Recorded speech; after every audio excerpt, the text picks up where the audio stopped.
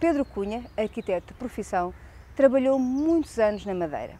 Mas a situação económica de Portugal mudou e Pedro não teve outra solução senão sair do país.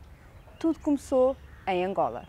O mercado de trabalho em Portugal é muito complicado, como sabes. Uh, Angola sempre foi, desde sempre foi, foi, um, foi uma porta aberta para, para receber os portugueses, para, para ter outras oportunidades de trabalho e de remuneração.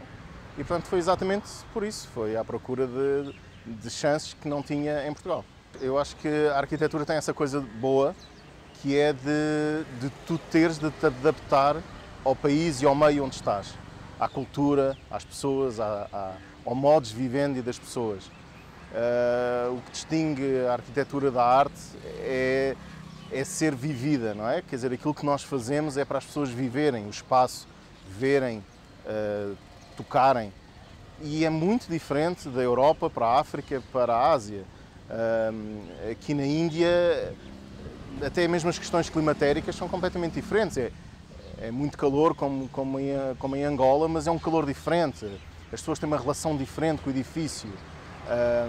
e, portanto, sim, é, é, é, uma experiência muito abrangente. Uh, a diferença, sentir essa diferença.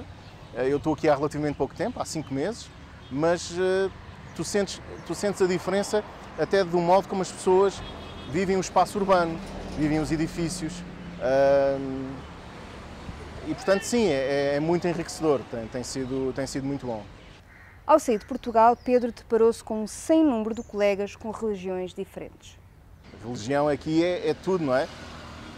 Aqui na equipa uh, tenho católicos, tenho muçulmanos, a maior parte são muçulmanos, uh, mas depois na equipa do empreiteiro temos desde Sikh, a, a cristão, ateus, hindus também, claro. Portanto, temos um, um budista também. Portanto, é, é, é, sentir isso tudo. Mas, curiosamente, há um grande respeito.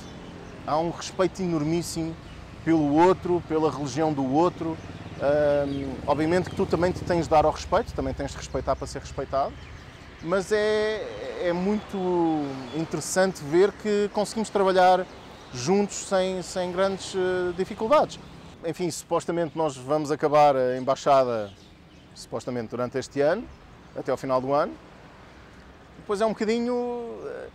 É assim, quando tu sais a primeira vez de Portugal, o que custa é sair a primeira vez. A partir daí, o mundo passa a ser o teu, o teu horizonte. Portanto, enfim, infelizmente não, não, não prevejo regressar a, a Portugal, pelo menos não, não está nos planos próximos.